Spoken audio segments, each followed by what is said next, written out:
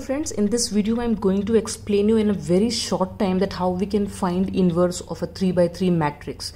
So first we have to calculate its determinant.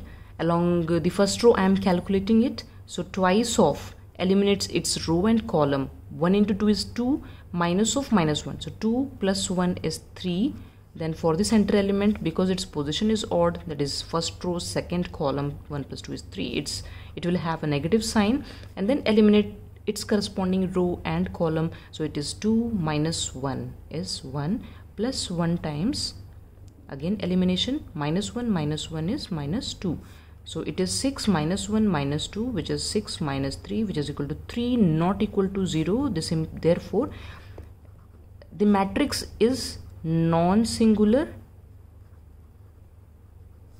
and A inverse exist this we have to declare. See here each and every step is very important and we cannot skip even a single step here because uh, that may lead to reduction in marks which you can obtain.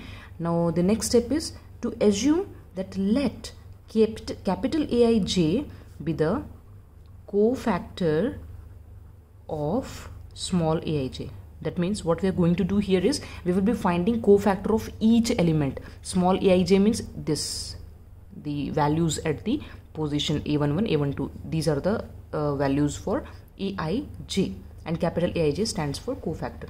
So i'm rewriting the matrix over here for better uh, understanding in calculation.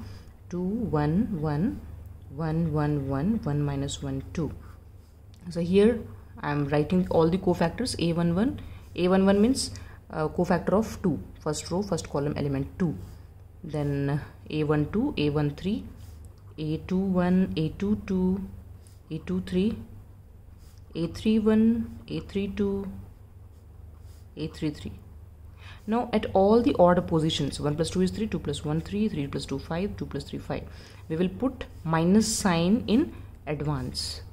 Now let's start calculating it. A11 eliminate this and this 2 plus 1 is 3 1 2 2 minus 1 is 1 a13 minus 1 minus 1 minus 2 then a21 2 plus 1 3 2 2 4 minus 1 3 2 3 minus 2 minus 1 minus 3 already minus is there so it will become plus 3 a31 3 1 1 minus 1 is 0 3 2 2 minus 1 is 1 a 3 3 2 minus 1 a 3 2 let's check again.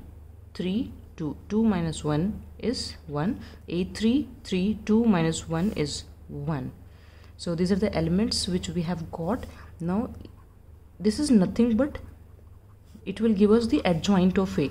Uh, the thing we have to keep in mind is we have to write in transpose form. Like 3 minus 1 minus 2 is to be written column while uh, will I get minus 1 here? Let's check it again. Uh, 1 2 2 minus 1 is yes okay yeah that's right. So let's write it in column wise. 3 minus 1 minus 2 and this is minus 3 3 3 0 minus 1 and 1 so these are the values that we have got. Now uh, this is what we have got okay? Now we have a formula for finding a inverse which is given by adjoint of a upon determinant of a. So determinant of a already calculated 3 and we just have to write this adjoint of a beside it. So it is 3 minus 3 0 minus 1 3 minus 1 minus 2 3 1 so this is how inverse of any 3 by 3 matrix is obtained. In next video, I will be explaining finding inverse of a 3 by 3 order matrix using elementary operation, which students find very difficult. So there also I will, I will be explaining the technique, how to solve it in a very precise way. So this much for today. Thank you and have a nice day.